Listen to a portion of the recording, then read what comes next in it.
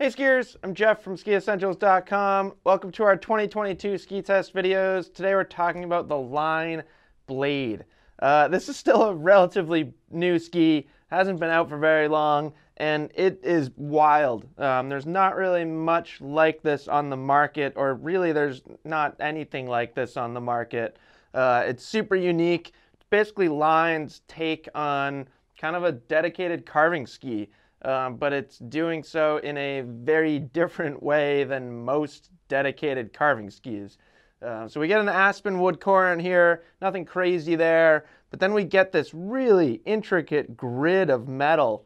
Um, Line calls it gas pedal metal, which I think is a pretty good name for it, just in the way that this ski feels. You can definitely press on the gas pedal and get it to make some pretty crazy turns.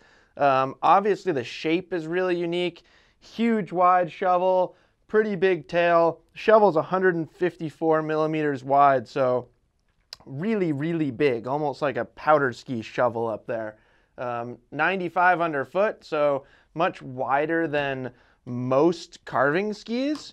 Uh, Line doesn't even list the turn radius. They basically just say that it's like really tight, um, and it is. So this ski makes unbelievably snappy, quick carving turns. Uh, it's it's really a unique skiing experience. The way the way that it comes across the fall line, um, it's pretty easy to flex it too. You know, it's not not like crazy stiff. Uh, it is it is stiffer than I'd say most of line skis, but they don't link the metal underfoot by design, so the ski will flex underfoot, which kind of you know it helps when you're making those those short, super short turns. Um, then we also get some kind of interesting tip and tail rocker in this ski. So not a crazy amount of tip rocker, but then when you decamber the ski, it starts rising uh, really about right there. So a significant length. Uh, and then this tail shape is really interesting for a carving ski. Much more splay, almost like a twin tip that they just hacked off and gave this almost swallowtail finish.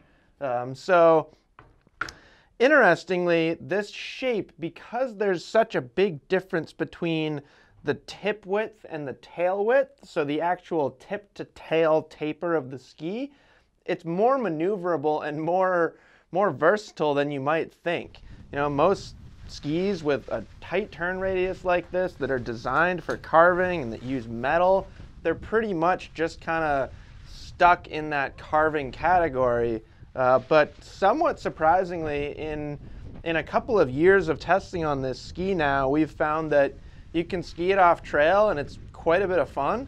Um, it's easier than you might think to release the tail edge, so you get this pretty agile, maneuverable feel off trail, and then just like trenching carving ability on, on firm snow or, or even like not firm snow. This thing carves through softer snow really well because it's wider than most carving skis, so more surface area, more to kind of push against.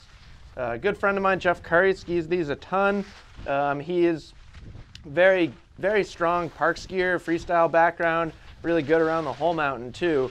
Uh, and it's really cool to watch what he can do on these skis. You know, he's slashing and smearing and kind of you know, doing little jibs here and there, but with more of like a carving, precise vibe than, than say a ski like the Sir Francis Bacon that can do all of that stuff too, uh, but with the kind of convex tips and tails, you know, it, it's got a much different feel, a less precise feel than a ski like this. So super unique, super fun, uh, really fun ski to add into anybody's quiver. Um, I really think that like just about anybody can can enjoy this ski. Uh, maybe not the best choice for like an intermediate or definitely not a beginner, but anybody, you know, upper level intermediate on up through experts, I, I really think that anybody could get on this and kind of appreciate what it can do uh, because it's so much different. So that's the line blade. Uh, let us know if you have any questions about it. As usual, you can leave a comment here on the video or anywhere on our site or get in touch with us directly. Happy to talk more about it. Uh, and yeah, we'll see you guys out there on the slopes just ripping a bunch of carving turns on a line blade.